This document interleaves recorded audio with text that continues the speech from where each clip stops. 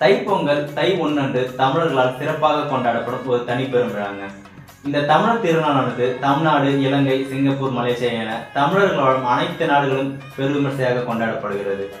இந்த விழா என்பது சமயங்கள் கடந்து மற்றவர்களாலும் பலரால் கொண்டாடப்பட்டு தான் வருகிறது.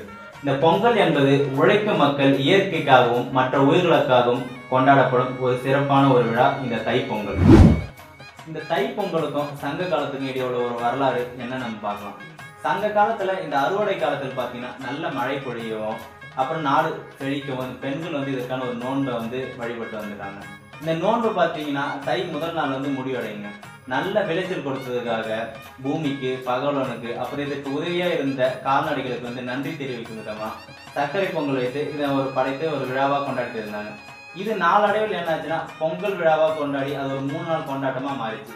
அது எப்படிதான் மாறி இருந்தாலும் இந்த பொங்கல் விழா என்பது ஒரு விவசாயம் சம்பந்தப்பட்டதாக இந்நாள் வரையும் நம் மக்களால் வந்து கொண்டாடப்பட்டு தான் வருது. இது இந்திர விழா என்ற பெயரில் இலக்கிய காலத்திலிருந்தே இருந்துள்ளதுங்க. மணிமேகலையின் ஆரம்பமான விழாவரை கதையில் இந்திரவிழா என்ற பெயரில் பொங்கல் கொண்டாடப்பட்டதையும் அப்புறம் இந்த காவிரி பூம்பட்டினத்தில் இந்திரவிழா என்பது மிகவும் சிறப்பாக நடத்தப்பட்ட ஒரு விழாவா இருந்துள்ளது.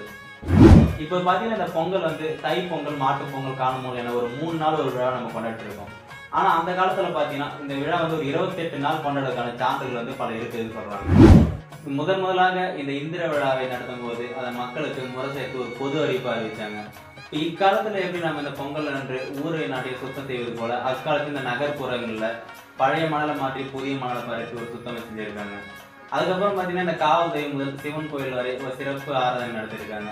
இந்த விழா காலங்களில் பார்த்தீங்கன்னா இந்த நோய் பகமை பசி சேர சில கோயில்கள் சிறப்பு பூஜைகளும் நடத்தப்பட்டுள்ளது. இப்போ பார்த்தீங்கன்னா இந்திரன் வந்து தான் மழைக்கான ஒரு தெய்வமா அக்காலத்தில் வந்து மக்கள் நம்பப்பட்டு மாதம் மும்மாறி பெய்யுது இந்த பயிர்கள் செழுமையாக வளர மக்கள் வந்து பிரார்த்திச்சிருக்காங்க.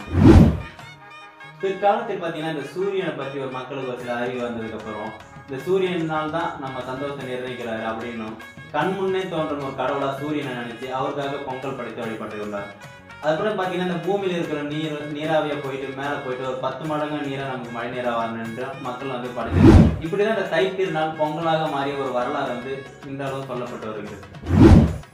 இந்த தைத்திருநாளை பற்றி இந்த சங்க இலக்கியங்கள்லாம் பல இடத்துல கூடுறாங்க இந்த நற்றினை குறுந்தகை. அதில் என்னென்னட்டு வாங்க பார்க்கலாம். சங்க இலக்கியங்களில் தைப்பொங்கல். தையித் திங்கள் தன்கயம் படியும் என்று நற்றினை. தையித் திங்கள் தன்னியம் தரினும் என்று குறுந்தொகை. தையித் திங்கள் தன்கயம் போல் என்று புறநானூறு.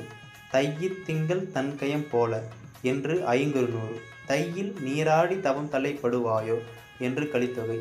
இவ்வாறாக சங்க இலக்கியங்கள் தையித் திங்கள் என தை நாளை பற்றி பல இடத்தில் கூறப்படுகிறது. இவ்வாறாக இந்த தை திருநாள் சங்க இலக்கியங்கள்லாம் சங்க காலத்திலிருந்து இன்று நாள் வரை நம் தமிழ் மக்களால் கொண்டாடப்பட்டுதான் வருது. இந்த நன்னாளில் உங்கள் அனைவர்களுடைய வாழ்க்கையும் புத்துணர்வு பெற சீட்ஸ் மீடியா சார்பாக அனைவருக்கும் வாழ்த்துக்கள்.